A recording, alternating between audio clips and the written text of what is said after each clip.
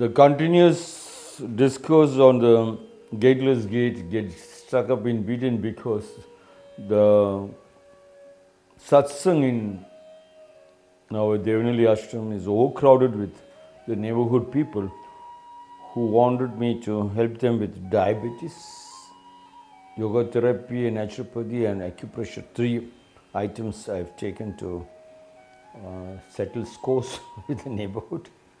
Gastric, they have a lot of gastric problems, headaches, and piles, stomach related problems, and they have cancer. Then thyroid. So yesterday we took the practice on thyroid on yogasana, acupressure, and it took around one and a half hours. Six to seven thirty. Then we couldn't record it up. Then there were a lot of visitors in the ashram on a Sunday. So today I said, okay, today we are not going to have satsang. We cannot have yoga class, no yoga therapy. Morning I'm going to sit and have the discourse back into my studio. This is my dabba small studio. Joshu washes the bowl. The seventh story from the Gateless Gate, written by Paul Reps, from the Zen Flesh, Zen Bones. A monk told Joshu, I have just entered the monastery. Please teach me. Joshu asked, Have you eaten your rice porridge? The monk replied, I have eaten.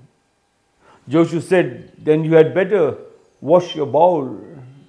At that moment, the monk was enlightened. Joshu washes the bowl. I have just entered the monastery, please teach me.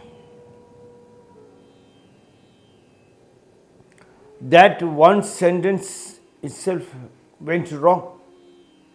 Because in the previous story, we have seen in the moment he knocked the door, when the master opened the door, said, I, I have come to learn Zen. And the master shuts the door. And the second time he knocks the door, the master opens and he said, Can you teach me what is Zen? And the master catches, his, catches him by the collar, drags him to the first floor, and threw him out of the window. He broke his hands and legs. He was hospital for six months. And after six months, when he came, he again knocked the door. Master opens the door. He bowed. Master bowed. Master turned around. He walked behind the master. And 12 years he stayed, became one of the greatest masters. When you when you insist on learning something that is your even your question was a borrowed knowledge. It was not from your samskriti. It was not from, from your passionate. It was not, not passion, uh, passionately in love. You have to have a, a love for a particular subject. Hence, many, many people nowadays tell the students are forced languages, forced ideology into the students. Hence, they become so dull. When the ch- children become so dull, when they are not in passionate love with a particular subject, they will not have an interest to be created, to penetrate, to roar like a thousand man warrior. Hence, there was a poverty in the land. Hence, there was many diseases. Hence, there are many hospitals which sprung up, and many people are around to cheat hyenas, foxes, wild dogs all around to tear you into pieces. Joshu asked, Have you eaten your rice porridge? The moment he asked him, Can you teach me?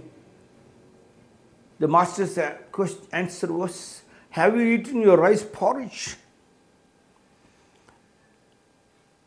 The monk replied, I have eaten. That means what was available in, the, in my center. Have you observed it? Were you hungry about a particular subject? My trees, my beautifully laid out, pedicured, manicured lawn. The amount of time I spent to make the trees grow so beautiful and trim it beautifully. Mm. Look at my ashram.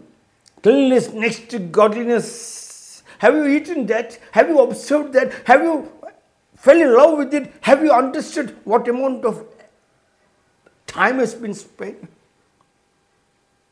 And without even observing, you're asking me to teach. You are a robber. Do you think if I teach, you will share it with others? Because everything what you have it, it should the body should absorb. After absorbing, then it is having an observation power.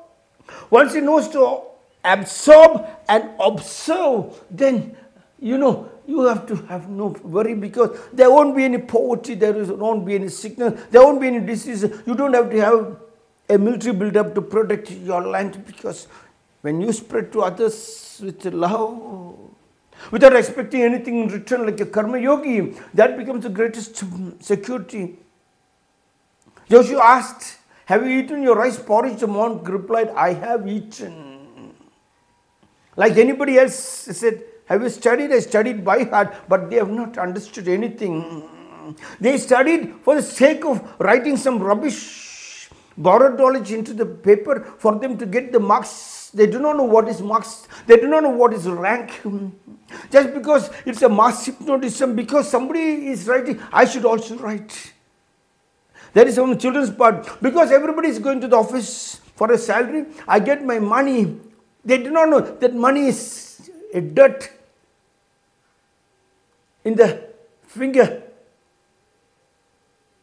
It has got no value because that money is just a robbed money.